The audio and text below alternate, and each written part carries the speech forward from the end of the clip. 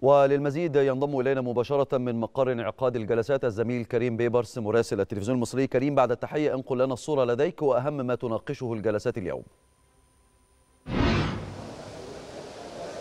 تحياتي لكم وتحياتي لجميع السادة المشاهدين. بالفعل الأسبوع السادس ولكن هو اليوم الأول في المرحلة الثانية في المحور الاقتصادي.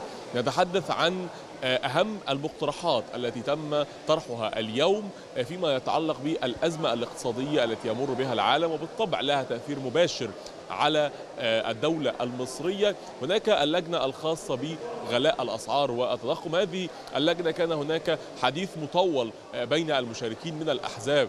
المختلفة عن أهمية التعامل مع التجار وأيضا إنشاء لجنة خاصة للرقابة لجنة للرقابة والتفرقة بين السلع التي من الواجب رفع أسعارها بناء على الغلاء العالمي أو من التعامل مع استغلال التجار الذي يستغل الغلاء العالمي في بعض السلع التي يتم إنتاجها بالفعل هنا ولي هنا في مصر وليس لها أي علاقة بالغلاء العالمي. هذه نقطة كان هناك أيضا نقطة في التحدث بوضع قانون خاص لوضع هامش ربح محدد للتجار في التعامل مع السلع المختلفة فيما يؤدي بشكل مباشر لتخفيض الأسعار أو حتى وضع سقف محدد لغلاء الأسعار للتخفيف عن كاهل المواطن. كانت هذه جزء خاص بغلاء الأسعار والتضخم هناك اللجنة الأخرى وهي خاصة بالدين العام.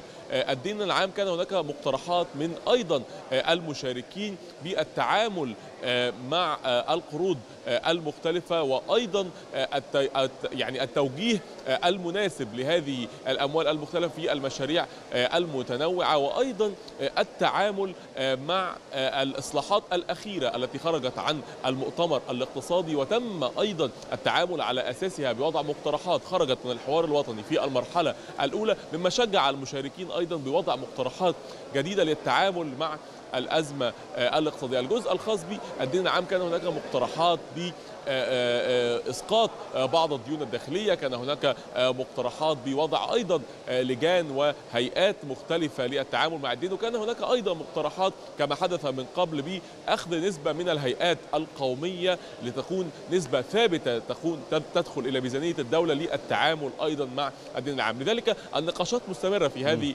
اللجان في نعم. المحور الاقتصادي على أن يخرجوا في آخر اليوم ببعض التوصيات والمقترحات ليتم عرضها بعد ذلك للأمانة العامة ليتم تنقيتها وتنقيتها للخروج بمقترحات أساسية يتم تقديمها إلى رئيس الجمهورية. الزميل كريم بيبرس مراسل التلفزيون المصري كنت معنا من مقر انعقاد جلسات الحوار الوطني. شكرا جزيلا.